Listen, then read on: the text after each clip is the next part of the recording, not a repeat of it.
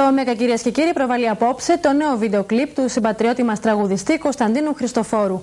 Ο νεαρός τραγουδιστής, ο οποίος ετοιμάζεται πυρετοδός για να εκπροσωπήσει την Κύπρο στο διαγωνισμό της Eurovision, παρουσιάζει στο βίντεο κλιπ μια μπαλάντα από τον τελευταίο του δίσκο. Καμιά αγάπη δεν με Αναρωτιέμαι. Μια ερμηνευτική μπαλάντα από τον τελευταίο δίσκο του Κωνσταντίνου με γενικό τίτλο Ιδιωτική Παράσταση.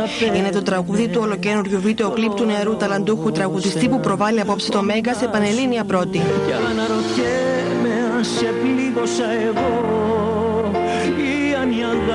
ο νεαρός τραγουδιστής, η νέα δισκογραφική δουλειά του, οποίου σημειώνει τεράστια εμπορική επιτυχία σε Ελλάδα και Κύπρο, αφού έγινε ήδη χρυσή, υπογράφει τόσο στοιχουργικά όσο και μουσικά τον πρώτο προσωπικό του δίσκο με τίτλο Ιδιωτική παράσταση. Στο τραγούδι αναρωτιέμαι η μουσική ανήκει στον ίδιο τον ερμηνευτή, ενώ τους στίχους υπογράφει ο Νικόλας Νικολάου.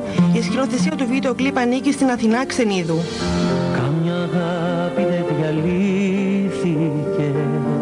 Που τώρα αναμένεται με μεγάλο ενδιαφέρον είναι το φιλμάκι για το τραγούδι Έλα Έλα, με το οποίο ο Κωνσταντίνος Χριστοφόρου θα εκπροσωπήσει την ιδιαίτερη του πατρίδα την Κύπρο στον 50ο διαγωνισμό τραγουδιού της Eurovision στις 21 Μαΐου στην Ουκρανία. Για να αν σε πλήγωσα εγώ